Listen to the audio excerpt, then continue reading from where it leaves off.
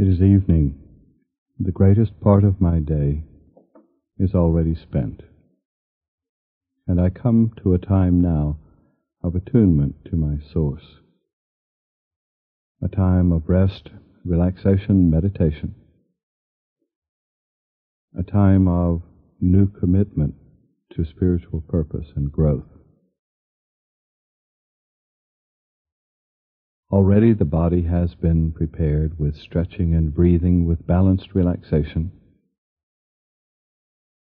And now taking a deep breath, stretching the rib cage and filling the lungs from bottom to top, I sigh it out and float away to a quiet, open meadow, my perfect place for meditation, relaxation. I begin to think about this beautiful meadow. It's becoming now a special place for me, a place where I go often to visit a subtler reality, a greater reality, the cause world, from which all that I experience with the senses is a result. Begin to see the meadow now. Look at the colors, the shapes. The hills, the trees, the flowers and grass of the meadow. Begin to see it. Create an image with the eye of the memory, the eye of the mind, the subtler sight. The subtler sight is developing now so that I begin to see in this meadow, in this subtler reality, symbols, pictures, ideas that can communicate with me. Perhaps when I go to the meadow, from time to time, I will see an image of a symbol or form, perhaps a person, a presence, that will communicate to me a teaching, a thought, an idea, as if my meadow were a stage on which a drama can be presented with symbols of peace or of progress, instruction can be presented. My subtler sense of sight is becoming a tool that can be used by the inner teacher, my source, the source of mind and life. See the meadow and see it clearly. And the image of the meadow becomes progressively clear, clearer as we visit here again and again.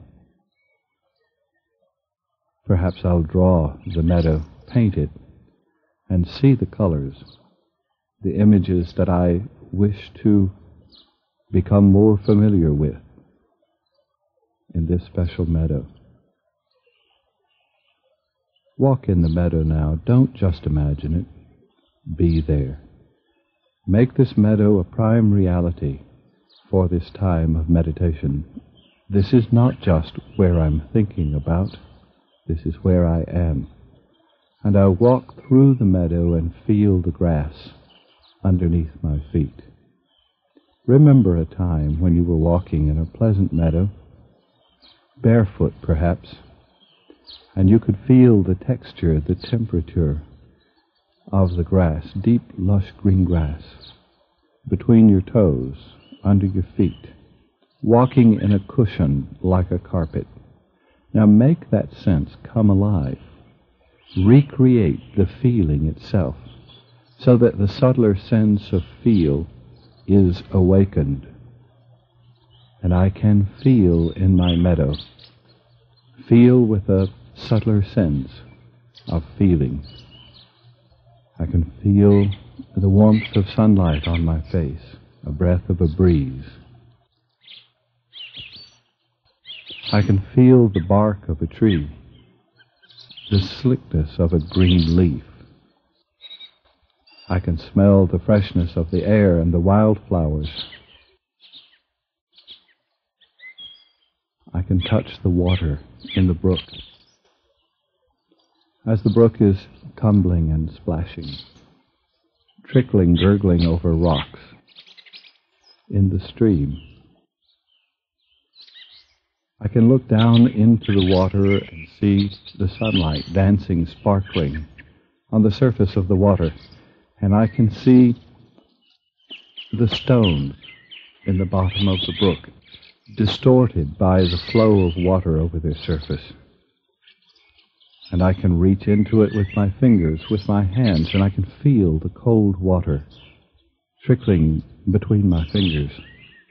I can scoop it up, using my hands like a cup, and bring the cool, clear water to my lips and taste it on the tongue, in my mouth and throat the sense of taste is awakened. The sense of smell. Try to remember a time of smelling wild flowers. Maybe even the scent of roses. Now recreate that sense and fill yourself with a heavenly scent of a quiet open meadow, a place of nature. Create all the sensations of being there. Don't just see yourself there. Surround yourself with this reality. Walk through the meadow touching things, feeling things, hearing things. Listen to the sound of the birds and the sound of the breeze.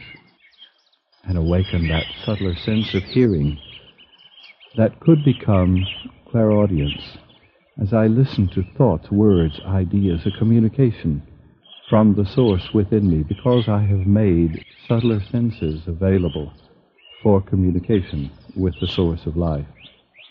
And so is the purpose of this meadow to awaken five subtler senses, to bring a peace and a calm to the body, to take my mind away from the sensory world, to cause me to realize that the world of the senses, the world of matter and material, is not the limit of reality. There is a greater reality. And as I take my attention away from the sensory reality, I can spend the time in this greater reality, allowing my mind to move freely and creatively, to see and experience the things that I want even the sensory world to be. And if I spend a time every day in a creative, quiet, and beautiful, subtler reality, I will bring the peace and the creativity, the joy of this place into my everyday life and make every day more beautiful for the experience. My body becomes attuned as I spend a time in this beautiful, subtler reality.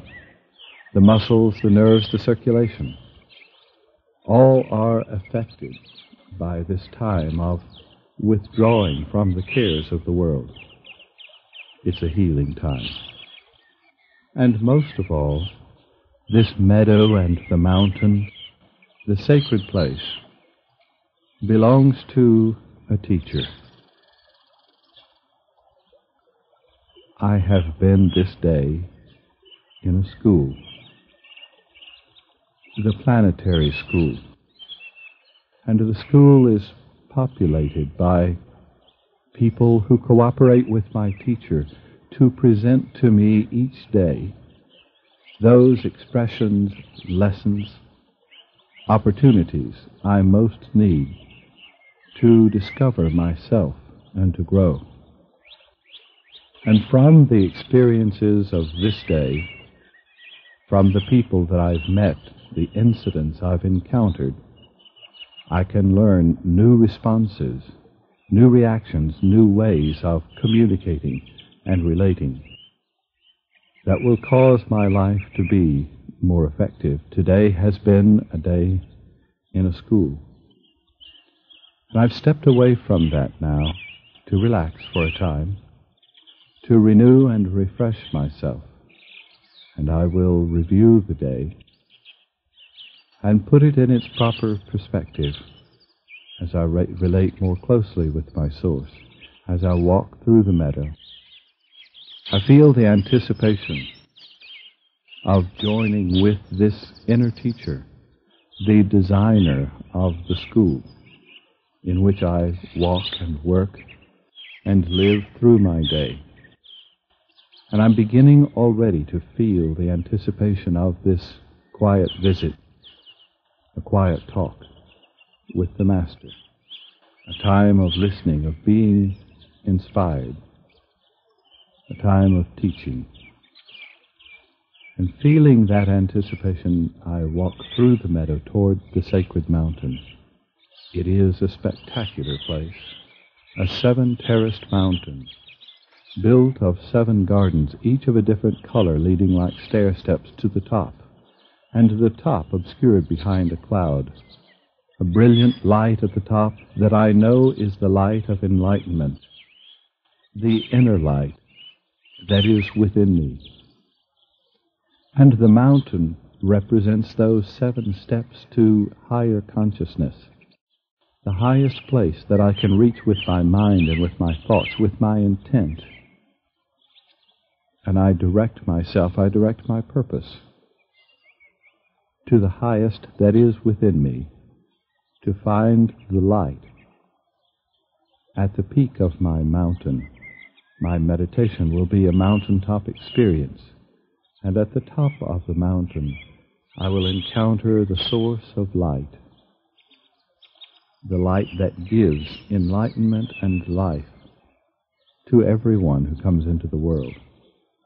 Walking across the meadow and approaching that first garden, at the base of the mountain, a brilliant red garden, bright red flowers introduce red energy the energy of anticipation, expectancy, excitement, and I can feel it now.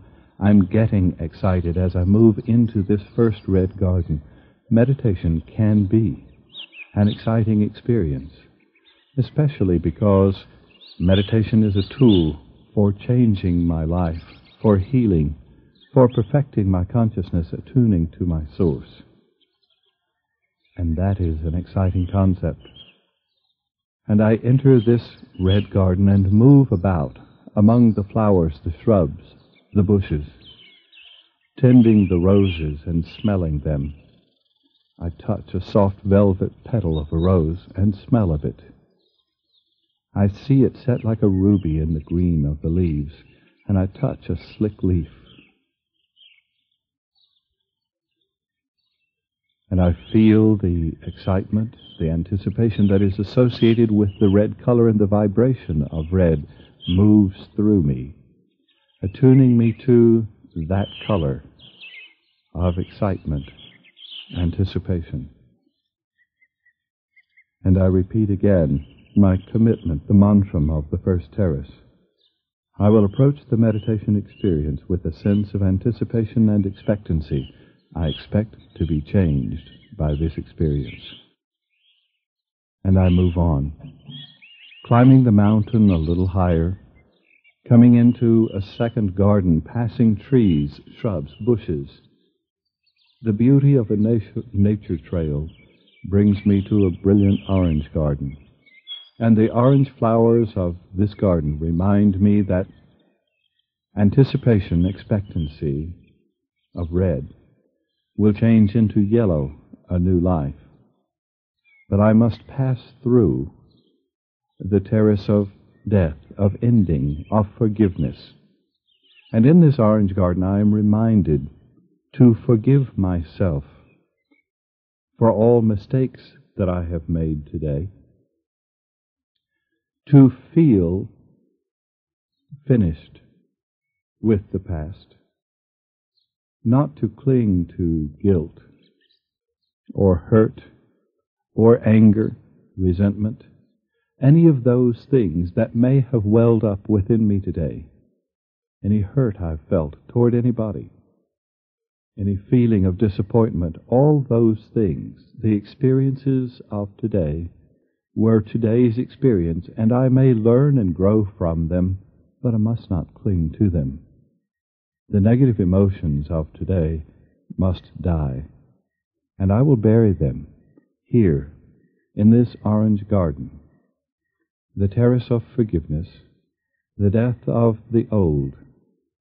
I will not go to sleep tonight carrying with me feelings of hurt or resentment, of fear, of failure. I'll bury the guilt. I'll bury the negative emotions here and finish with them. I forgive myself in every way. And I forgive all those who might have disappointed or misused me or have spoken to me in any way that was disappointing. And I make again the commitment of the second garden. I forgive myself all mistakes and errors. I affirm that it is all right to make mistakes. I am not my past. I will not cling to an old self image. I am prepared to see myself in a new way. I will die to who I used to be and find out who I can become. And releasing all those thoughts of today, all the tensions and cares, I move still higher up the mountain. Again, following the nature trail over the rocks and past the shrubs and the trees. I come now to a bright, sunny yellow garden, the garden of new life, the garden of new beginnings, and the beautiful bright yellow flowers of this garden lift my spirit and feel like a washing, a cleansing, a renewal. It's a metamorphosis. I've left behind the caterpillar and feel blooming into the butterfly. Old things are passed away. Behold, all things have become new. And I will move from this meditation experience into the experience of the night, of rest and renewal. And tomorrow I wake a new being. And I don't yet really know just what I shall be, but I do know that I will not enter tomorrow carrying the burdens of today or yesterday. I've released that. I don't see myself as having the limitations or weaknesses, problems or fears or habits that are yesterday's habits. I've become new. I feel new. I'm experiencing a new me. And turning loose of the past and starting the new.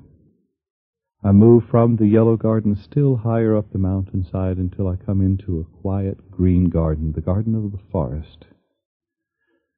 The garden with sunlight filtered through the leaves of the trees, casting a beautiful, healthy green about me in the sunlight and the air, the shadows.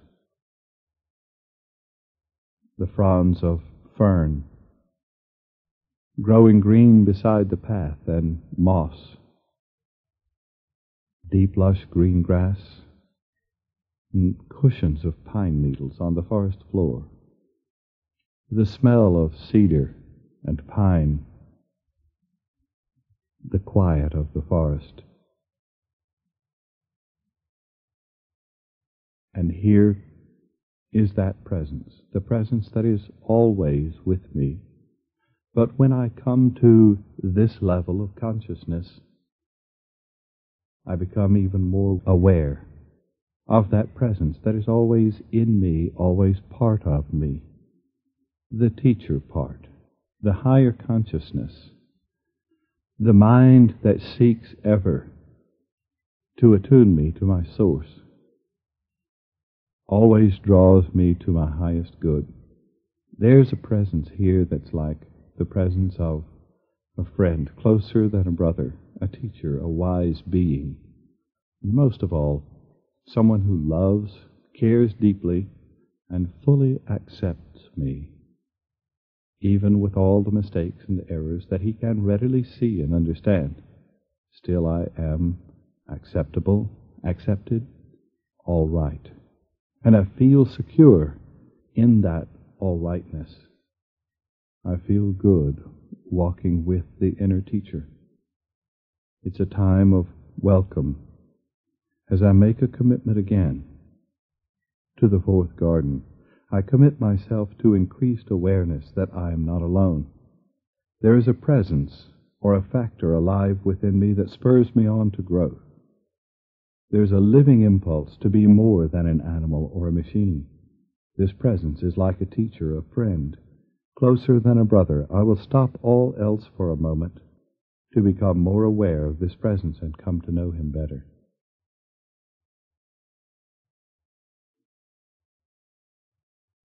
I'll make an assumption that my calling on this presence has precipitated a response.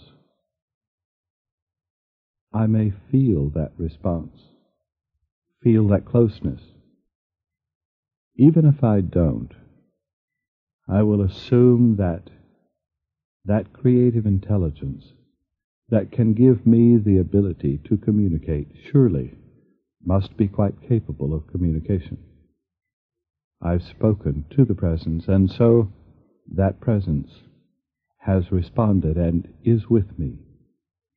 I'll accept that and walk closely with this presence that I'm coming to know better every day, still higher up the mountain into a fifth garden that is predominantly blue blue flowers growing beside and over the path, the cornflowers, the morning glories, the beauty of the bright blue flowers of the fifth garden. And then I remember this is the garden of will. I want to turn loose of the willfulness that may not work in my own best interest. Whatever is the will of the highest for my life is also the best for me. And if if I seek my highest good, then I seek what is the will of the source for me. And so my will and divine will become one. And my affirmation of the fifth garden is, Thy will be done. I've released the willfulness of the self, of the senses, of limited awareness. I turn loose of the will of appetite and of ignorance, of old habits and beliefs that didn't work for me, to understand best what the highest will is for my expression and my experience.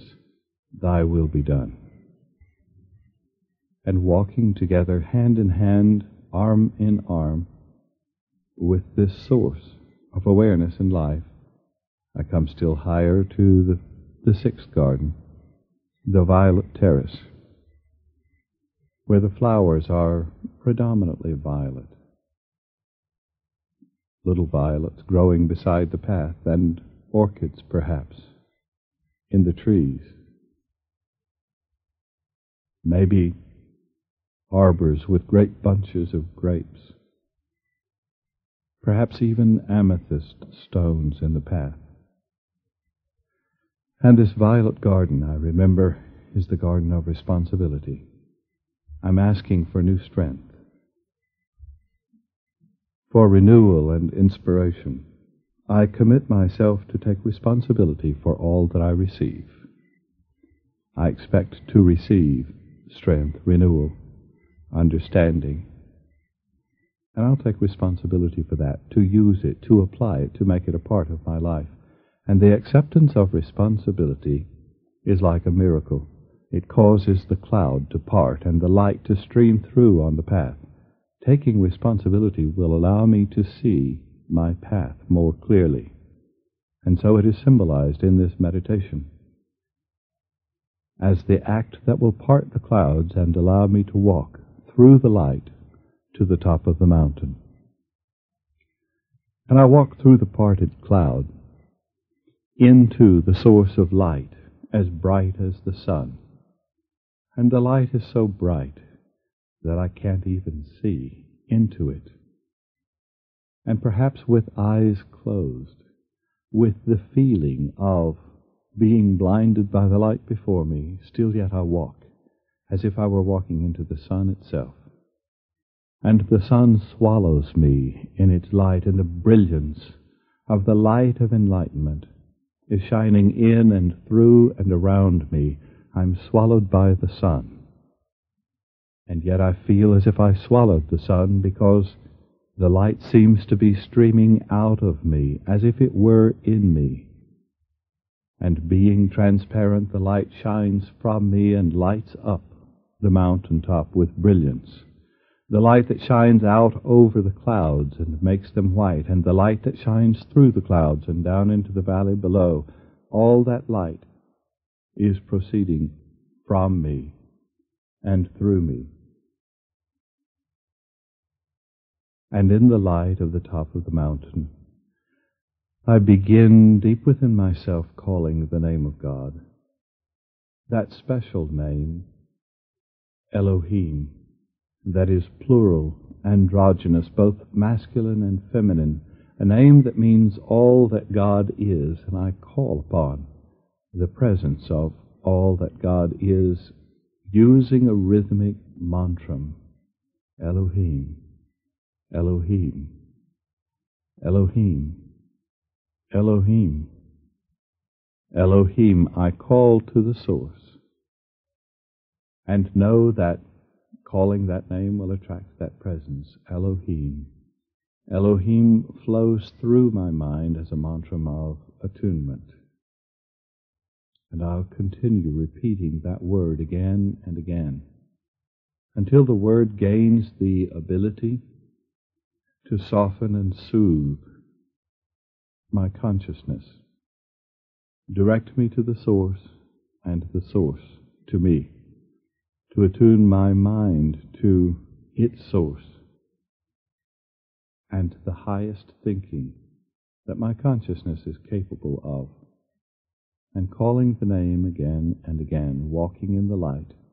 I walk through the white garden at the top of the mountain, until I come to a quiet, reflective pool, and the light that shines from me is reflected in the pool, and on the other side is a temple. I can see the reflection of that special sacred temple, a spectacular temple, reflecting in the pool, and I cross over the pool to the presence of that temple.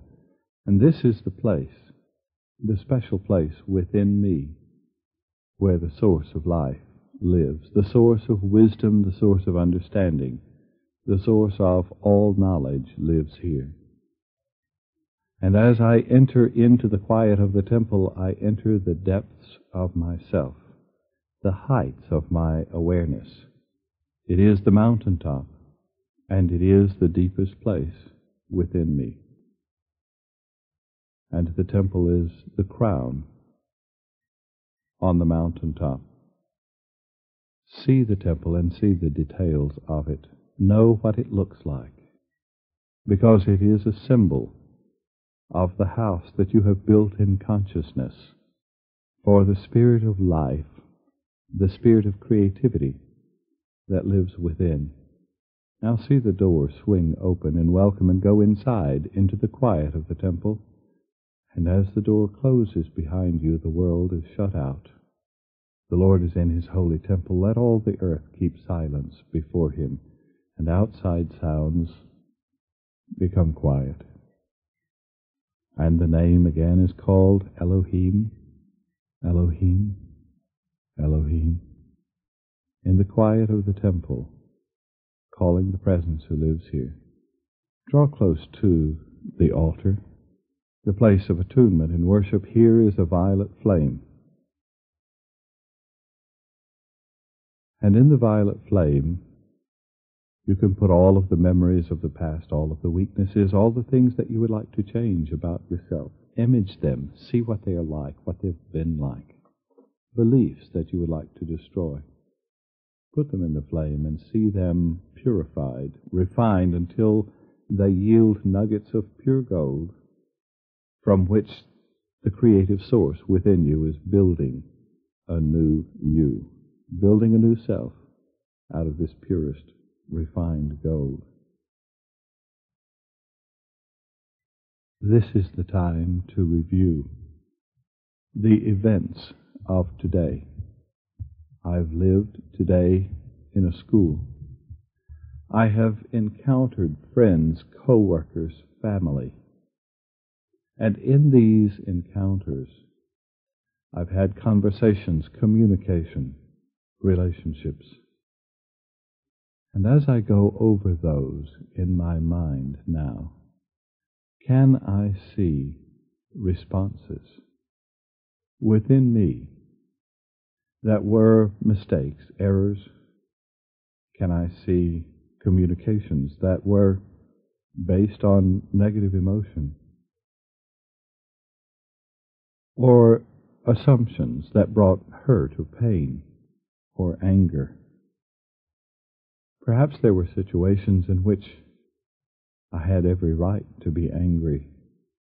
But do I want to feel that, and is that the best response for me? If there are incidents of today that need to be replaced with a new response, it's a good idea now to burn that reaction that I'm a bit ashamed of. Put it in the fire. And as a nugget comes from the fire, a gold nugget, label it. Write on it a word that describes a new response that you would like to have in such a situation. And this golden nugget is yours. This new action, this new response, put it in your pocket. It becomes a part of your treasure it's money you can spend. It's value that you have to give. And carry that gold nugget, that lesson learned, that new response. Go through today and find every action, every opportunity that you would like to remake and rebuild. Burn the negative reaction in the fire and take from the fire a new response, a new idea, a new action, a new belief that you will make part of your treasure of life, make part of yourself. Put it in your pocket, take it with you. And now, go to the quiet place in the temple that is the Hall of Records, the library. On the door of this great library is written the words of a promise. I will bring to thy remembrance all things whatsoever you have need of from the foundations of the world. A promise on the door says, I will cause you to remember. The door swings open and welcome. Go inside, and there is there a librarian, a record keeper, and great volumes of books books about you, books about others, books about the earth, about life.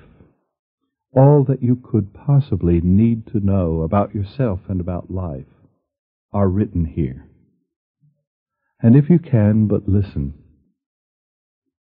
and if you can, during the time of the night tonight, dedicate yourself to listening. I will sleep about a third of my life and that third of my life should not be wasted. Tonight is a night in a school, and I expect to enter the time of tonight in listening. Listening with my teacher, with my source, and my dreams will be valuable to me. I will expect dreams even if I haven't been remembering them. And I will expect meaningful dreams tonight that are clear. And my dreams will become clearer and clearer because I request it. I ask of my source, my teacher, speak clearly to me in dreams this night, and I will listen. Enter the Hall of Records with that intent. Image a librarian. Introduce yourself to that part of your consciousness that keeps the records within your mind and say to that part of the consciousness, you're the keeper of my symbols. The symbols of my subconscious are stored here in this great library. My dreams tonight will use those symbols that are mine, and you are the keeper of the symbols. Bring them to my consciousness and help me to understand them better. Make them clear to my consciousness. Make tonight valuable to me as a learning experience. You may want to spend some time now browsing through the books in the library asking for understanding of yourself. Ask the librarian to bring you a book about you. Image a book with your name on the cover. It's a particular color, a particular material, a particular size. It may have symbols on the cover. Remember all these things.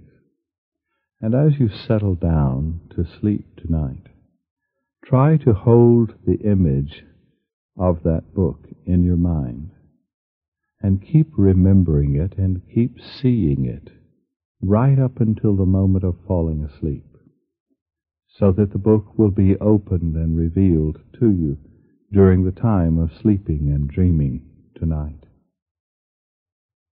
Image that book and ask the record keeper to bring it to you this night during the time of sleeping and dreaming. Now spend some time before the healing window in the Hall of Records.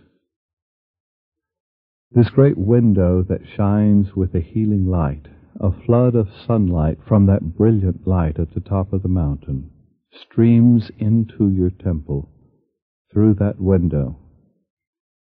And the light that streams through this healing window is a healing light. Whatever it touches, is made whole.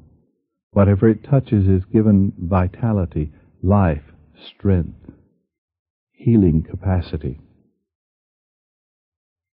Now begin to bring into the light of the window those you care about, especially those who need healing. Those you would pray for and give your healing energy to. Begin to image them now one by one, stepping into the light. And as they approach, you will see them in the condition in which they now appear the sickly condition or the unhealthy. But as they stand in that light, change the image, change the way in which you see them quite deliberately. Change them to whole and healthy, vitally alive, filled with energy, clear of thought and mind, feeling loved. Create an image of smile and joy on their face. And in the body, the clarity of freedom of movement, of vitality. In the muscles, the tone of the skin and of the face. Bring another and another if you want, or spend quieter time with just one. Going through all of the glands and organs, nerves and tissue of the body, revitalizing here, renewing there, cleansing in another place, building the blood, building the bones, building the strength and the clarity of the individual and the organism. And as you release them from the window, bring into the window those you love, your family, those you live with and care about, and see each of them one at a time, passing through the light of the window and being filled with joy and confidence. Fill them especially with confidence, with all rightness, and say to them, think to them, communicate to them as you hold the image in the window. I love you and I care for you and I want you to know it. And even if I don't express it often enough in words or in actions. I want to express it this night and every night in my time of meditation. On this subtler level, the level of spirit, I want to build a bond of love and of caring and of communication with you so that we understand one another better. I love you, and I know that you are all right, beautiful, a wonderful being, and I want you to know that too. It is all right to love yourself, to have confidence, project confidence, see this loved one that you are imaging, developing greater confidence and poise, feeling good about self, happy and joyous, becoming through it all a better person because of being a loved and joyous and happy person. And bring yourself to the window. Stand in the light and feel the light of the Christ shining in and around and through and about you, renewing your mind, reminding you God has created all that you are, and God does not do a poor job of creation. You are, in fact, an intricate, delicate, fascinating, wonderful, complex, fantastic being, and it is all right to know that. Think to yourself as you stand in the light, it is true about me. It is true of my body. My body is intricate, delicate, fascinating, wonderful, responsive, and I appreciate it. And my mind is all of those things complex, fantastic, interesting, responsive, wonderful, and I appreciate it.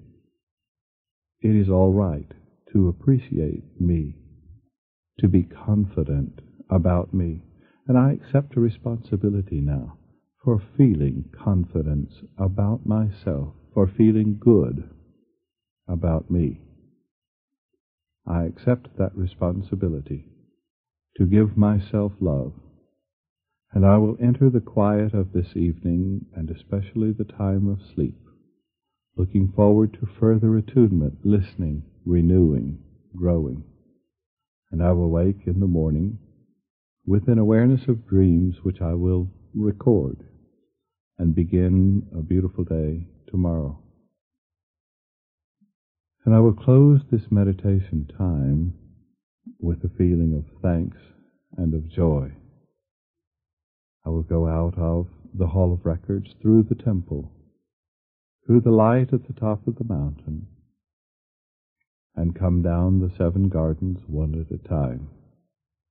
I may wish to climb up into the temple again, to ascend the mountain, and there to sleep the night's sleep.